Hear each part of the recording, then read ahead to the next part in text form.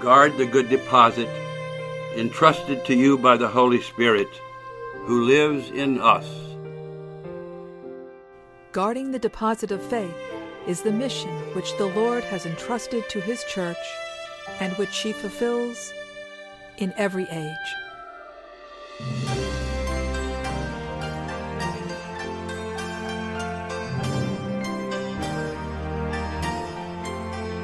This treasure, received from the apostles, has been faithfully guarded by their successors. All Christ's faithful are called to hand it on from generation to generation by professing the faith, by living it in fraternal sharing, and by celebrating it in liturgy and prayer.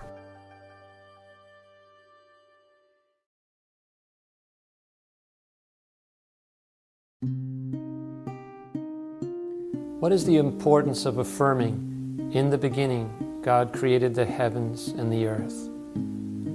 Creation is the foundation of all God's saving plans, the beginning of the history of salvation that culminates in Christ. It is the first answer to our fundamental questions regarding our very origin and destiny. The first three chapters of the book of Genesis remain the principal source or catechesis on creation. And they teach us that God created the world and especially mankind for a noble purpose.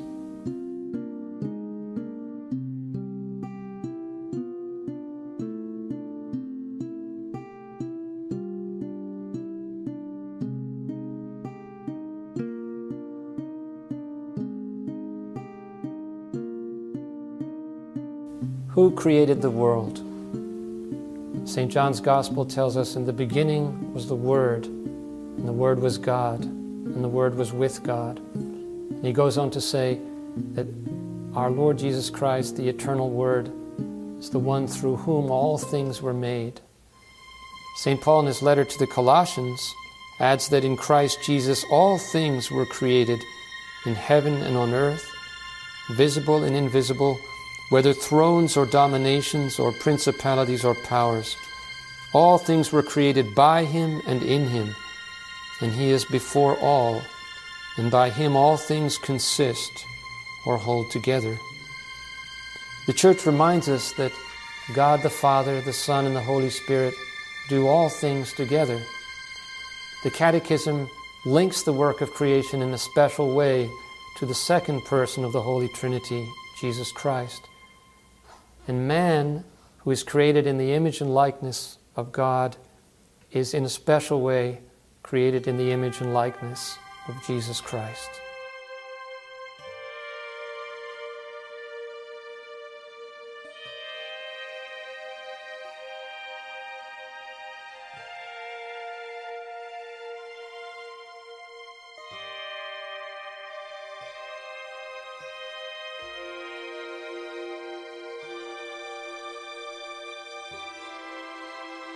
Why was the world created?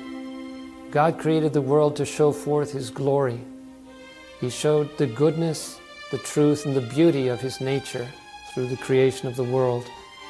That His creatures should share in His truth, goodness, and beauty, that is the glory for which God created them. The glory of God means the showing forth of His goodness. As a great artist like Blessed Fra Angelico expressed the goodness within him in his sacred art.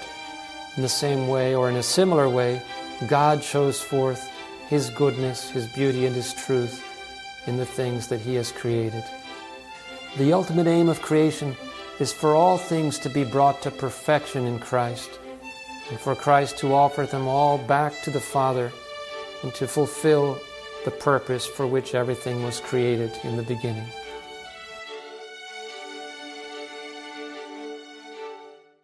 How did God create the universe? In wisdom and love, God, who is above all things, freely created out of nothing an orderly and good world which He sustains with His love. God created all things with wisdom. In the city of God, St.. Augustine tells us that in this creation, had no one sinned, the world would have been filled and beautified with nature's good without exception. So all that God created in the beginning perfectly reflected His wisdom and love. To create means to produce something in its entire substance from nothing. In other words, to create means to bring something into existence with all of its parts. But to make something means to take some pre existing material or materials and to shape or arrange them in a certain way.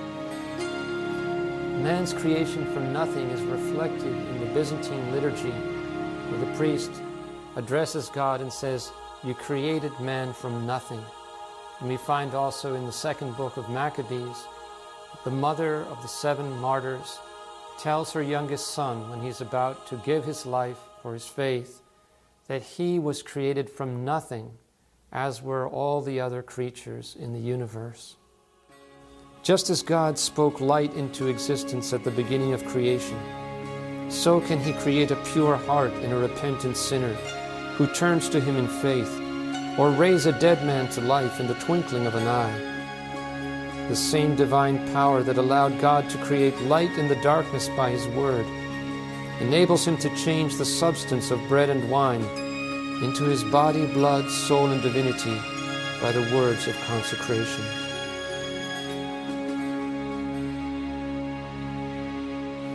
The Catechism tells us that because creation comes forth from God's goodness, it shares in that goodness.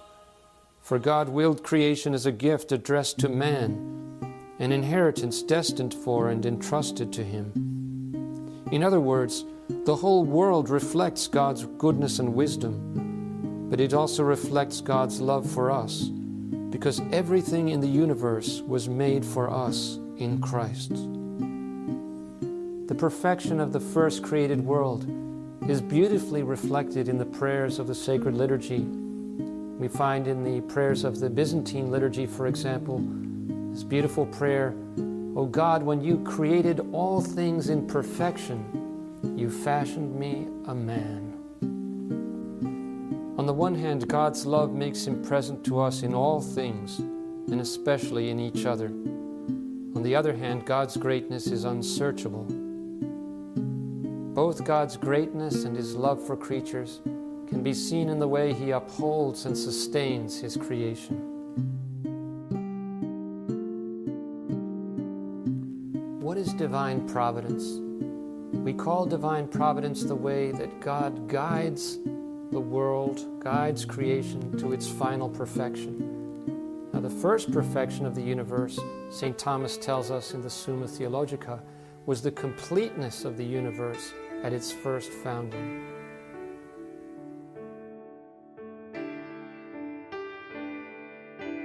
How do we collaborate with divine providence? We do this in two ways. First, by obeying the teachings of the church, fulfilling the duties of our state in life, and following the inspirations of the Holy Spirit. Secondly, by abandoning ourselves to the will of God, especially in the trials and sufferings of life.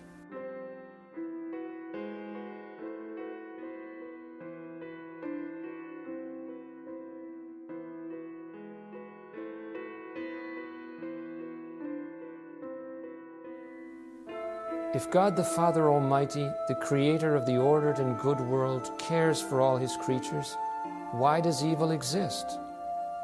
The key to the answer to this question can be found in paragraph 311 of the Catechism, where we read Angels and men, as intelligent and free creatures, have to journey toward their ultimate destinies by their free choice and preferential love.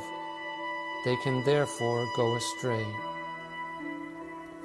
It would have been impossible for angels and men to be created free without having the ability to choose evil. Had God created them without that ability, they would have been robots, not free and rational creatures. And we know that both the angels and Adam and Eve, our first parents in the beginning, chose against the will of God. However, we also know that from evil God is able to bring forth good. Indeed, from the greatest moral evil ever committed, the rejection and murder of the Son of God, God brought forth the greatest good, the redemption and salvation of the world.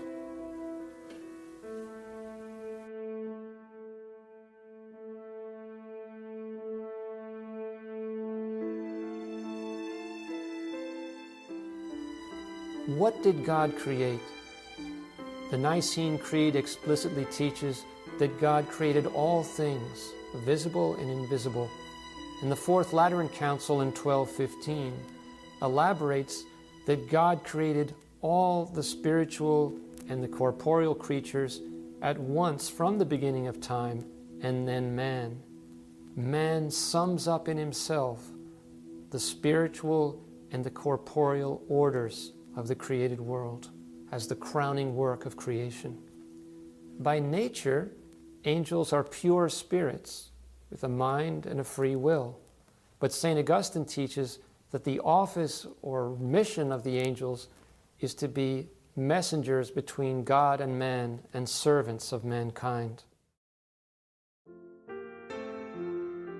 Christ is the center of the angelic world.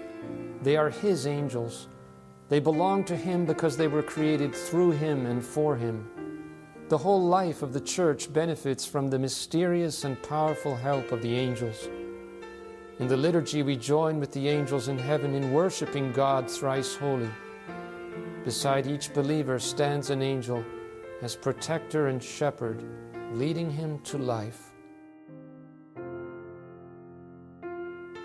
In addition to the invisible world of the angels, God created the world of visible creatures, the material universe.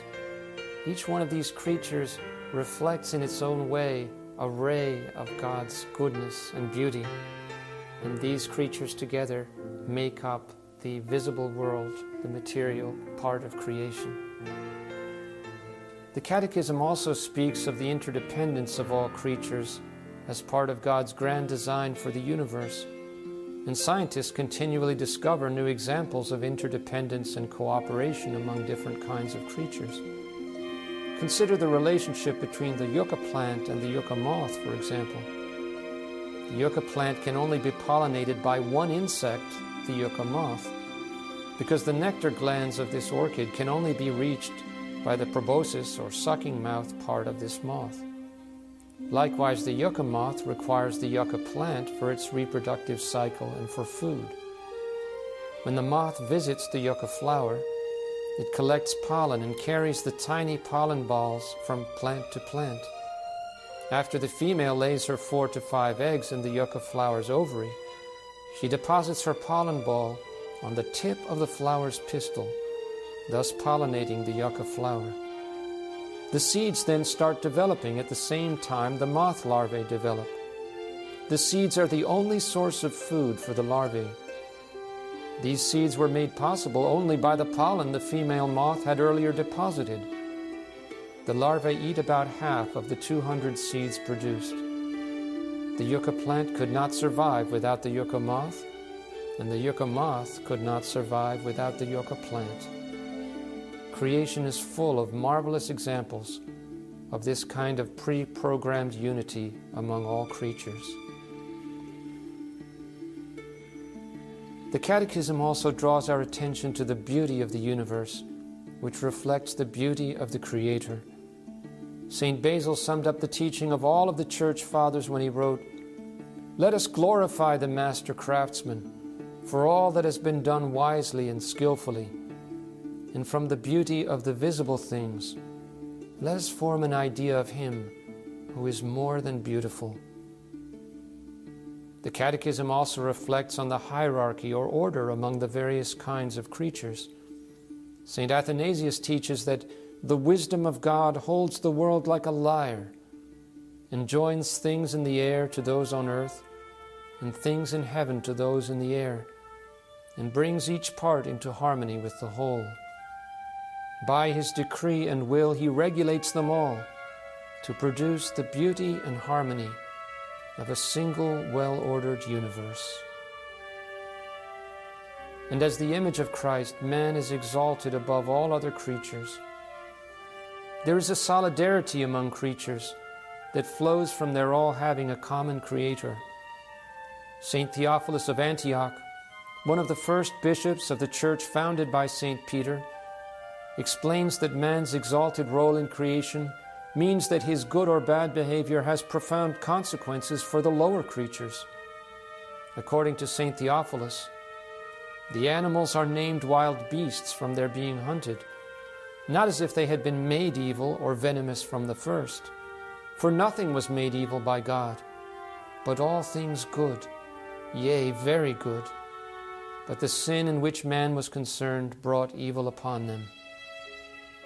Pope Benedict XVI reminds us that man and the wild beasts were friends in the original creation. He writes In his short account of the temptations, Mark brings into relief the parallels between Adam and Jesus.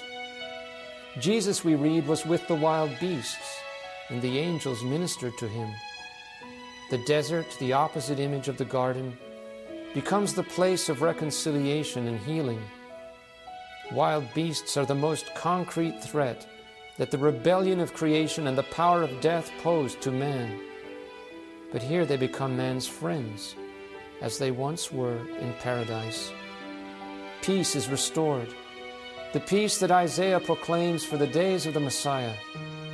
The wolf shall dwell with the lamb, and the leopard shall lie down with the kid.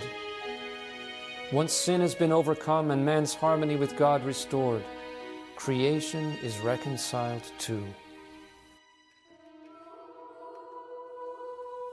The sacred text of Genesis relates that on the seventh day God finished his work which he had done, that the heavens and the earth were finished, and that God rested on this day and sanctified and blessed it. The Catechism tells us that creation was fashioned with a view to the Sabbath, and that worship is inscribed in the order of creation.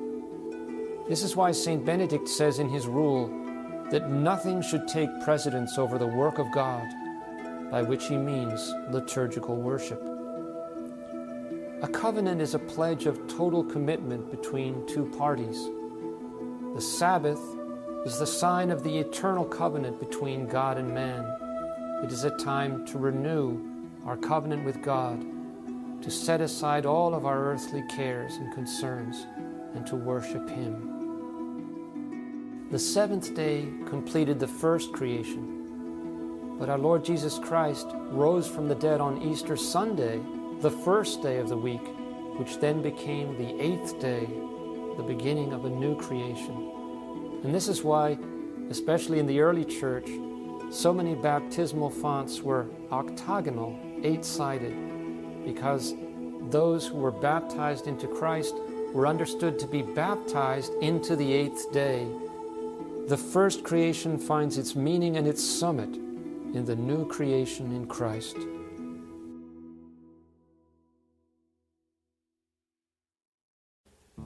What is the place of the human person in creation?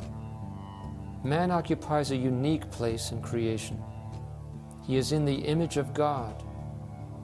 In his own nature, he unites the spiritual and material worlds. He is created male and female and God established him in his friendship. The human person, created in the image of God, is a being at once corporeal and spiritual. Man, whole and entire, is therefore willed by God. The Church teaches that the human soul is the form of the human body. The form means that it's the soul that meaningfully arranges the material parts of the human body. So the human body is not a collection of parts which were cobbled together one at a time. It's a unity from the very beginning of man's creation. The unity of soul and body is so profound. It is because of its spiritual soul that the body made of matter becomes a living human body. Spirit and matter in man are not two natures united, but rather their union forms a single nature. The Church teaches that every spiritual soul is created immediately by God. It is not produced by the parents, and also that it is immortal. It does not perish when it separates from the body at death, and it will be reunited with the body at the final resurrection. Man is the only creature on earth that God created for his own sake. Only man was made to offer everything in creation back to God. Only he is called to share by knowledge and love in God's own life. This is why St. Catherine of Siena says to God about man's soul By love you created her. By love you have given her a being capable of tasting your eternal good.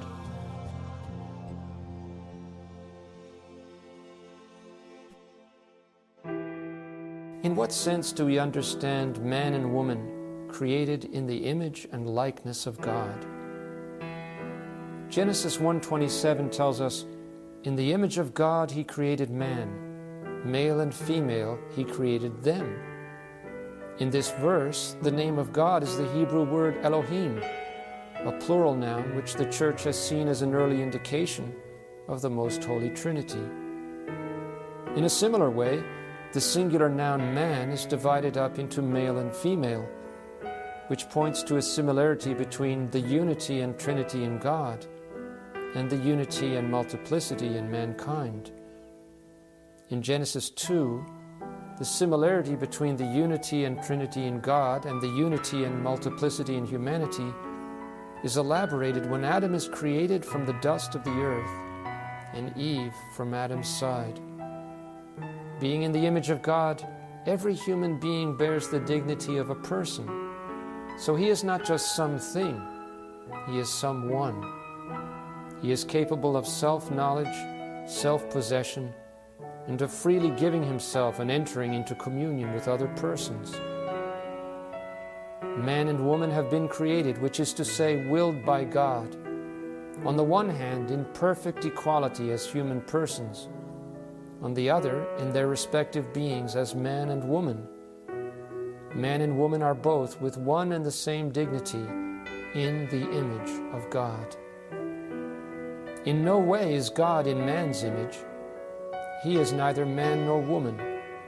God is a pure spirit and is neither male nor female. However, the perfections of man and woman reflect something of the infinite perfection of God, those of a mother and those of a husband and father.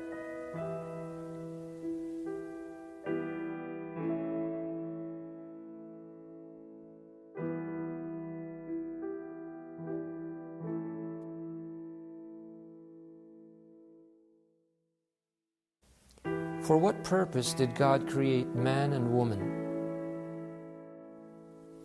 Man and woman were made for each other.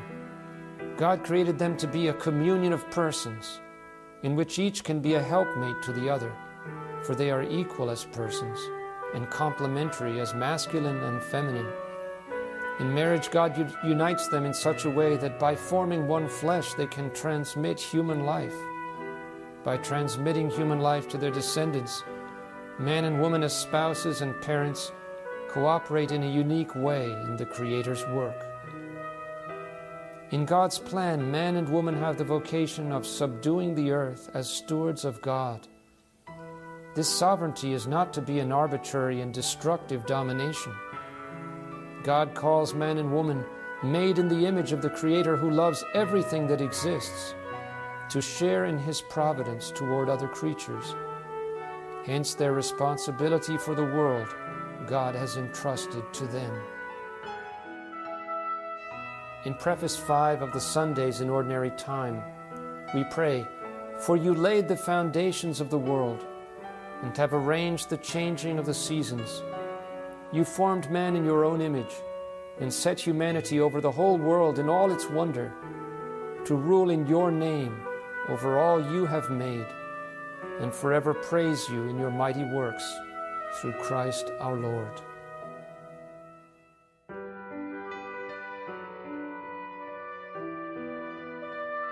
Why does the human race form a unity? In his famous sermon to the people of Athens in Greece, St. Paul taught that God hath made of one all mankind to dwell upon the whole face of the earth, determining appointed times and the limits of their habitation. The Catechism makes reference to the book of Tobit, where we read that God made Adam and gave him his wife Eve to be his help and support and from these two the human race descended. Thus, we know that every human being on earth is related to every other human being through our common descent from our first parents, Adam and Eve.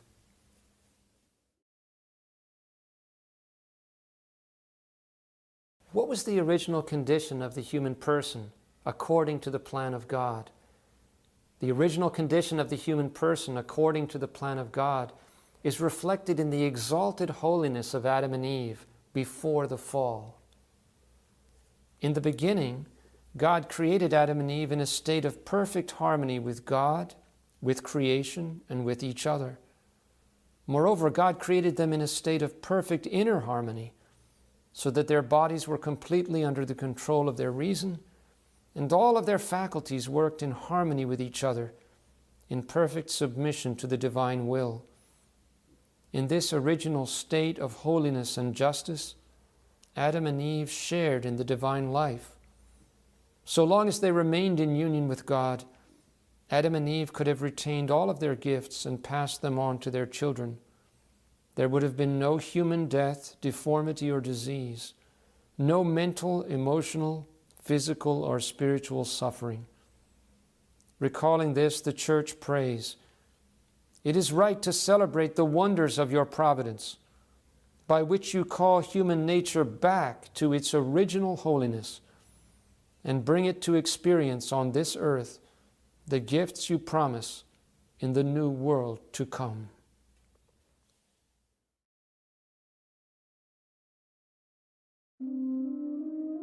How should we understand the reality of sin? Sin is a violation of our relationship with God. It's a rejection of God, an opposition to God in thought, word, action, or intention.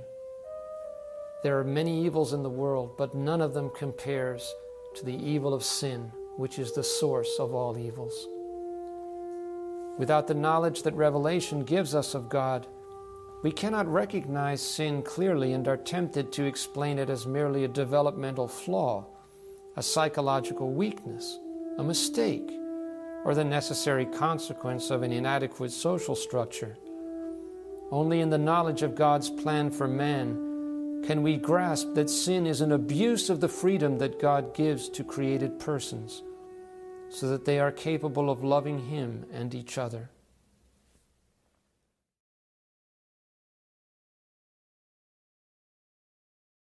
What was the fall of the angels? The Fourth Lateran Council, the Council of Florence, and the First Vatican Council all teach that God created the angels good, but some of them rebelled against God and became devils.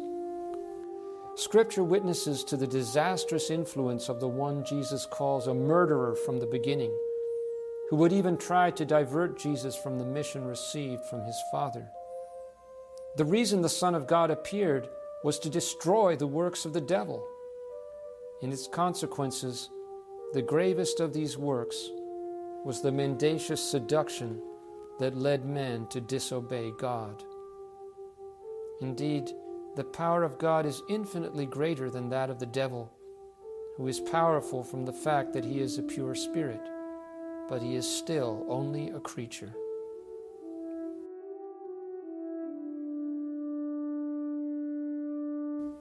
What was the first human sin?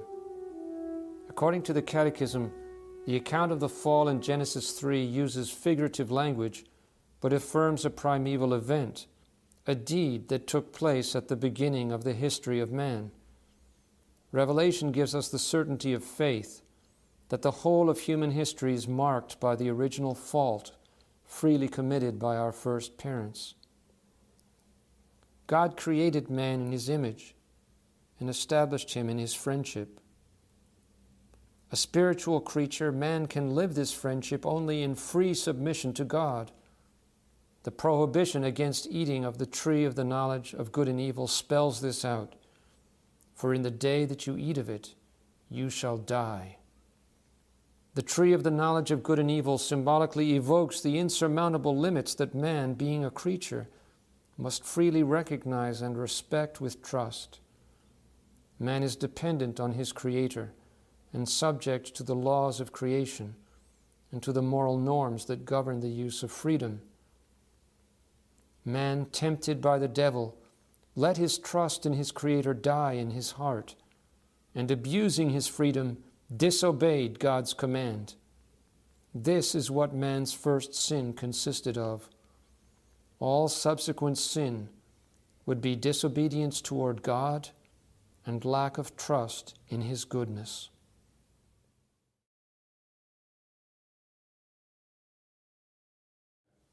What is original sin? How did the sin of Adam become the sin of all his descendants? The whole human race is in Adam as one body of one man. By this unity of the human race, all men are implicated in Adam's sin, as all are implicated in Christ's justice. Still, the transmission of original sin is a mystery that we cannot fully understand. But we do know by revelation that Adam had received original holiness and justice, not for himself alone, but for all human nature. By yielding to the tempter, Adam and Eve committed a personal sin, but this sin affected the human nature that they would then transmit in a fallen state.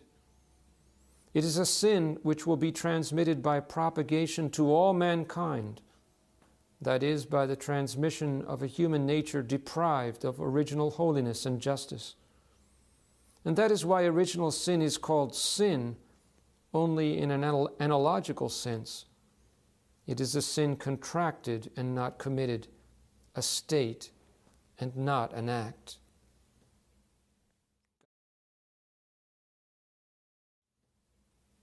God did not create our first parents subject to evils such as suffering, ignorance, death, and selfishness. All of these are the result not of God's design, but of our sin. First, the sin of Adam that resulted in our being conceived in the state of original sin. And secondly, our own personal sins, which increase our slavery to ignorance, suffering, sickness, and selfishness. Baptism, by imparting the life of Christ's grace, erases original sin and turns a man back toward God. But the consequences for his nature, weakened and inclined to evil, persist in him and summon him to spiritual battle. The consequences of original sin and of all men's personal sins put the world as a whole in a sinful condition, aptly described by St. John as the sin of the world the whole of man's history has been the story of dour combat with the powers of evil, stretching, so our Lord tells us, from the very dawn of history until the last day. Finding himself in the midst of the battlefield, man has to struggle to do what is right, and it is at great cost to himself and aided by God's grace that he succeeds in achieving his own inner integrity. Ignorance of the fact that man has a wounded nature inclined to evil gives rise to serious errors in the areas of education, politics, social action, and morals.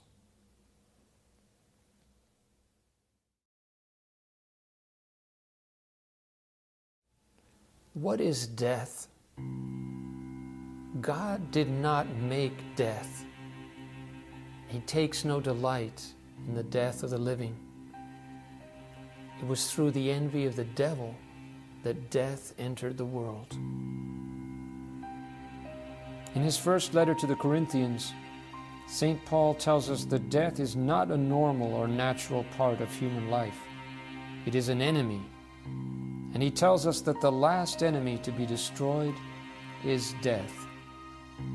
According to the Catechism, the Church's magisterium, as authentic interpreter of Scripture and tradition, teaches that death entered the world on account of man's sin. God did not plan for man to die. This is why bodily death, from which man would have been immune had he not sinned, is the last enemy of man left to be conquered. St. Paul tells us in his letter to the Romans, chapter 8 for the creation waits with eager longing for the revealing of the sons of God. For the creation was subjected to futility, not of its own will, but by the will of Him who subjected it in hope. Because the creation itself will be set free from its bondage to decay and obtain the glorious liberty of the children of God. We know that the whole creation has been groaning with labor pains together until now. And not only the creation, but we ourselves, who have the first fruits of the Spirit, groan inwardly as we wait for adoption as sons, the redemption of our bodies.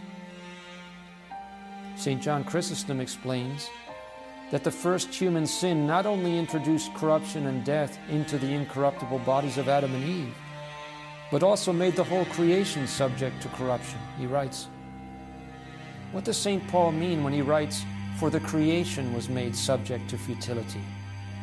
It became corruptible. Why and by what cause? By your fault, O man. Because you received a body mortal and subject to sufferings, so the earth also was subject to a curse and brought forth thorns and thistles. Pope Benedict XVI quoted an ancient homily on this theme, which points out that Adam was created pure by God to serve him. All creatures were created for the service of man. He was destined to be Lord and King over all creatures. But when he embraced evil, he did so by listening to something outside of himself. This penetrated his heart and took over his whole being. Thus, ensnared by evil, creation which had assisted and served him was ensnared together with him.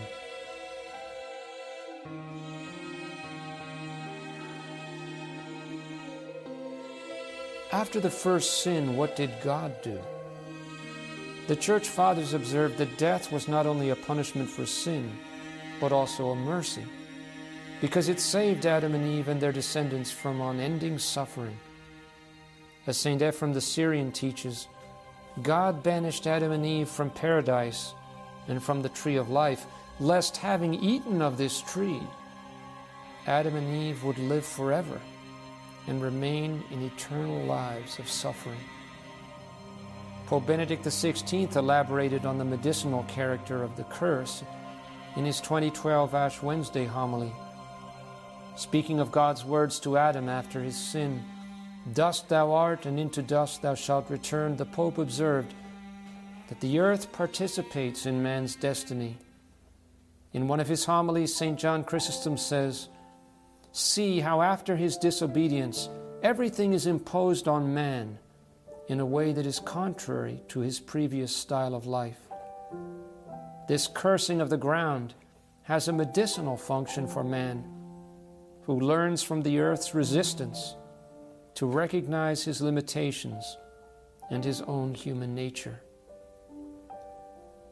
From this, we can learn that God is always able to bring good out of evil.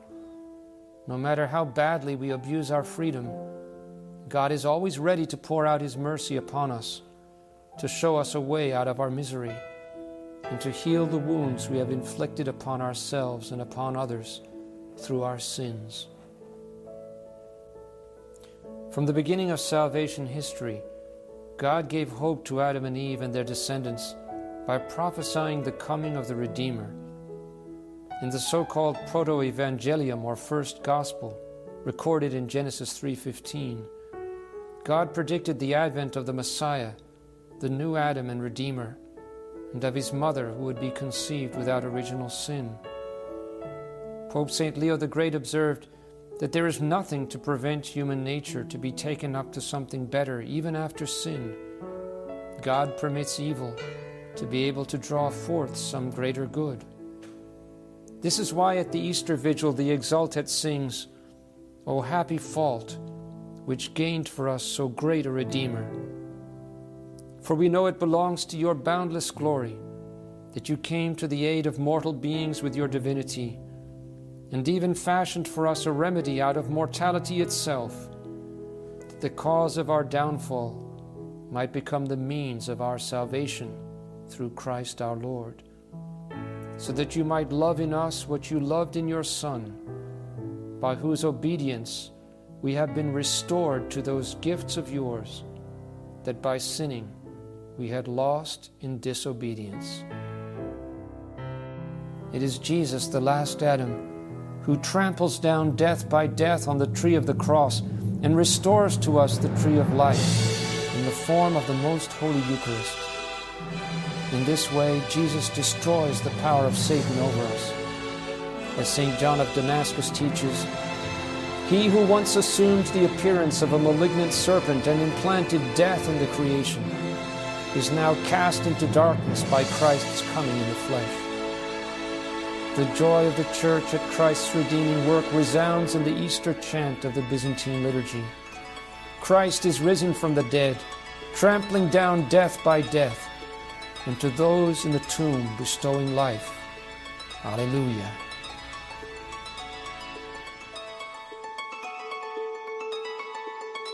What is the final destiny of the created universe? Then I saw a new heaven and a new earth. For the first heaven and the first earth had passed away, and the sea was no more. And I saw the holy city, New Jerusalem, coming down out of heaven from God, prepared as a bride adorned for her husband. And I heard a great voice from the throne saying, Behold, the dwelling of God is with men. He will dwell with them, and they shall be his people and God Himself will be with them. He will wipe away every tear from their eyes, and death shall be no more. Neither shall there be mourning, nor crying, nor pain any more, for the former things have passed away. And he who sat upon the throne said, Behold, I make all things new. Christ's purpose was to restore to us what we had lost in Adam, that what we had lost in Adam we might recover in Christ Jesus. Indeed, the Church pleads for this glorious restoration in all of her liturgical prayers. For with the old order restored, a universe cast down is renewed, and integrity of life is restored to us in Christ. And in the fourth Eucharistic prayer of the Roman Rite, the priest prays in the name of the whole Church. To all of us, your children, grant, O merciful Father, that we may enter into a heavenly inheritance with the Blessed Virgin Mary, Mother of God, and with your apostles and saints in your kingdom. There, with the whole of creation, freed from the corruption of sin and death, May we glorify you through Christ our Lord.